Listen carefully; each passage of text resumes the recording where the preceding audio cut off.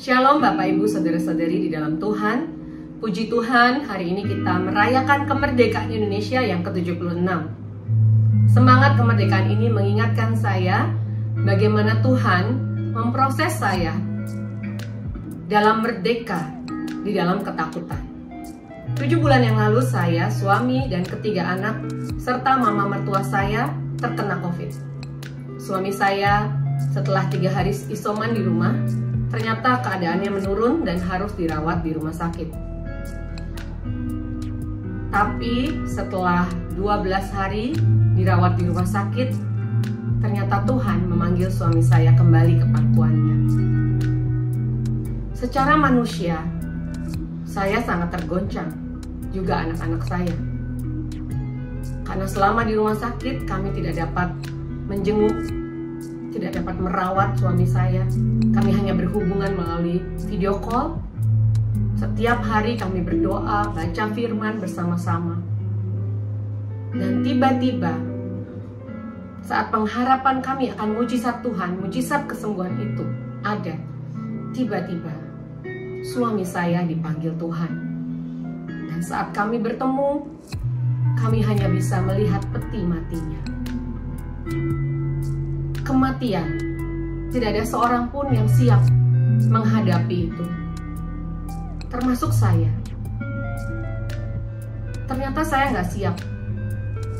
Walaupun kelihatannya secara rohani, seharusnya saya siap. Tetapi ternyata nggak siap. Saya ada dalam depresi berat. Tidak bisa berdoa, tidak bisa membaca firman, tidak bisa beribadah, bahkan bersekutu di dalam saat teduh saya. Hari-hari saya semakin lemah karena saya juga masih ada dalam pemulihan dari COVID. Sampai akhirnya saya katakan kepada diri saya, saya nggak mau saya terus dalam keadaan begini. Saya harus melakukan sesuatu. Akhirnya saya ambil tindakan saya bilang saya mau bercakap-cakap denganmu Tuhan. Walaupun dalam memulai percakapan itu saya nggak memulai dengan doa karena saya belum bisa berdoa. Setiap malam setelah saya dan anak-anak saya berdoa, saya memulai percakapan pribadi saya dengan Tuhan. Walaupun di dalam percakapan itu yang ada hanya tangisan, yang ada hanya keluhan, ternyata dari ke hari ke hari saya selalu semakin dikuatkan oleh Tuhan. Tuhan sangat baik. Dia tidak pernah meninggalkan kita. Pada saat dalam keadaan sepertinya kita dalam keadaan yang nol, titik terendah dalam kehidupan kita. Tuhan gak pernah ninggalin kita. Sampai akhirnya suatu malam saya ingat banget, Roh Kudus ingatkan saya. Apakah hanya itu tugasmu di dunia ini, Kathy? Hanya untuk mencintai suamimu? Di situ saya kaget. Saya mulai ambil tindakan untuk saya mulai bersepakat dengan Tuhan. Saya mau menerima keadaan ini di dalam Tuhan saya mulai memaksakan diri saya untuk mulai kembali berdoa, bersaat teduh, mulai kembali beribadah. Saya mulai mengisi hidup saya dengan firman Tuhan, dengan pengharapan di dalam Tuhan. Saya nggak mau jadi orang Kristen yang cengeng, saya pikir begitu saat itu. Puji nama Tuhan. Dari hari ke hari, saya malah mulai melihat mujizat demi mujizat yang Tuhan berikan di dalam kehidupan saya. Banyak pertolongan yang Tuhan berikan. Benar janjinya bahwa dia tidak pernah meninggalkan kita.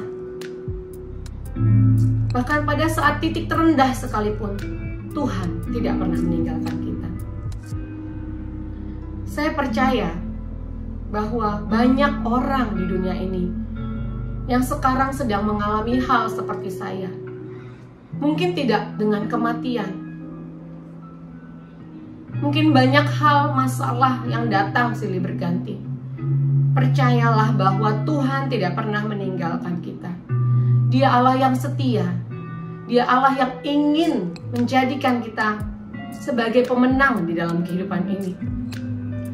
Percaya bahwa tujuan Tuhan supaya kita ada di dunia ini tidak hanya untuk memikirkan diri sendiri, tetapi menjadi partner sekerja Allah.